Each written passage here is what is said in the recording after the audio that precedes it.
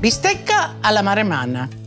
You know Chianti, where all the wine is produced, and Florence and so on. But if you go towards the sea, that area is called Maremma, and they have uh, Butteri. Butteri are cowboys, and they have the oxen, the cows, and they have a great bistecca, bistecca alla maremmana, just like this. And this is the cut that they use. And the bistecca is a T-bone steak. So you see you have the T-bone, and here is the filet part. When you're buying the filet, you're just buying this part. When you're buying the shell steak, you're buying just this part. But in this case, the T-bone steak, you get both of them. And the width of it, you know, three good fingers of mine in height. And my, my hand is not a small hand. Just a little bit of oil, a nice hot grill. Let me just oil it on one side, not too much because it flares, just a little bit. That's it, that's even enough. Salt. And in Maremma, they leave the salt really for the last, but I like to give it a little bit. And just like this, you plop it on a hot grill. And so you don't just plop it like that, like that, because we're gonna make the cross markings. So you put it 45 degree that way, and then we'll turn it 90 degrees that way, and you'll get the cross marks. And this bistecca takes a while, but you know, if you have been to Maremma or Tuscany, if you had the steak, the steak actually is cooked to black and blue temperature. So when you get really close to the bone, it's warm, it's not hot. And that's the way they like it. So this big size, you cook it on one side, on the other side, and I'll show you all the ways to cook it. Uh, if you really cook it in the Maremma style, you cook it black and blue. So let's see. Yeah, Okay, so let's give it another 45 degree this way. And then we'll do the same to the top. And you'll have your cross marks, which look nice. And while that is cooking, we have some questions. Tim Woods from Mississippi wants to know, is there an Italian rub or marinade that you like for grilled meats? Well, Tim, I'm gonna make one. And you keep on watching uh, because this is the dressing, the marinade, if you will, the topping that the Tuscans in Maremma love for their steak. So let's see.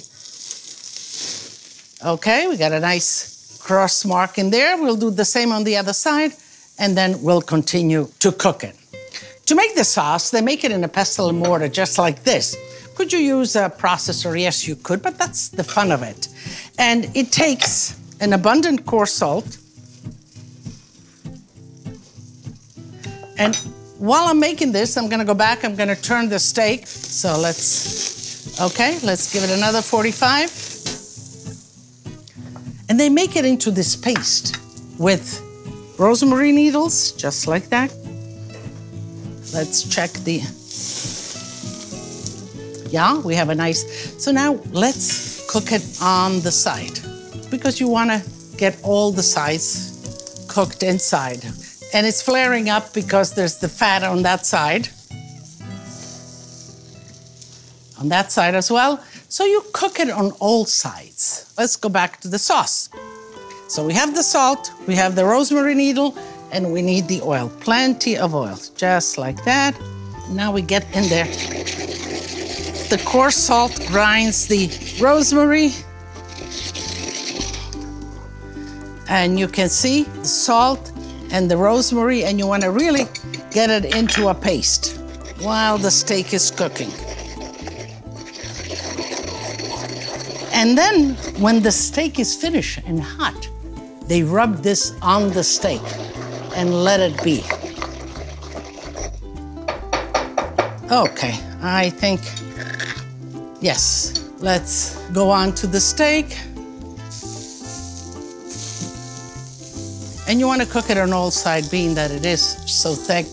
Okay, we'll finish grilling it, and then we will serve it. And it's as simple as that. And I bet if you put that on your grill, you'll get the crowd around the grill, that's for sure. Celebrate like an Italian. Recycle your wine bottles. Growing up, we made our own wine, and we always saved the wine bottles. Even when we gave a gift to the neighbor of wine, we went back for the empty bottles.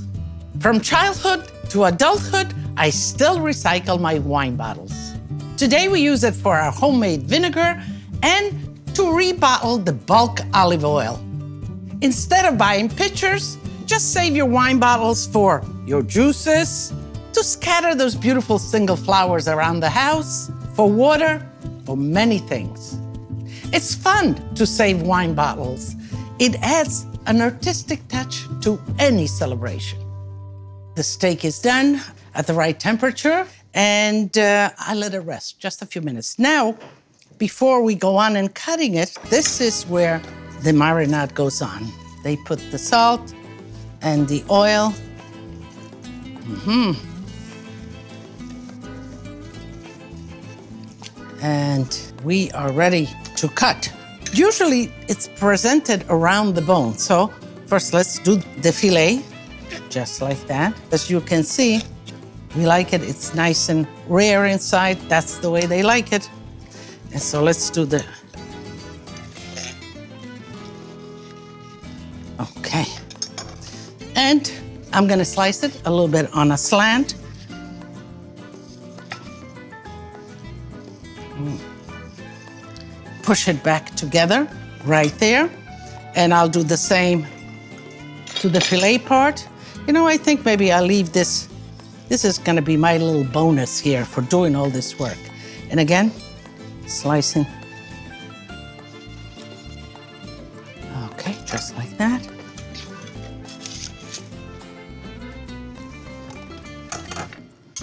present it like this. And voila, some nice fresh rosemary from the garden. There's certainly plenty of it. And this is my little piece here. And bistecca alla maremmana. And you know, there's an old I Italian saying, chi ha veramente fame non ha bisogno di condimenti. And that means who's really hungry needs no side orders. And let me tell you, I'm okay with that saying right now because there's delicious and plenty of it. So, mm. brings me right back to Maremma. And of course, think that there's enough there to invite you as well. So, as we say at our house, tutti a tavola a mangiare. To learn more about Lidia, access to videos, and to get recipes, tips, techniques, and much more, visit us online at lidiasitaly.com.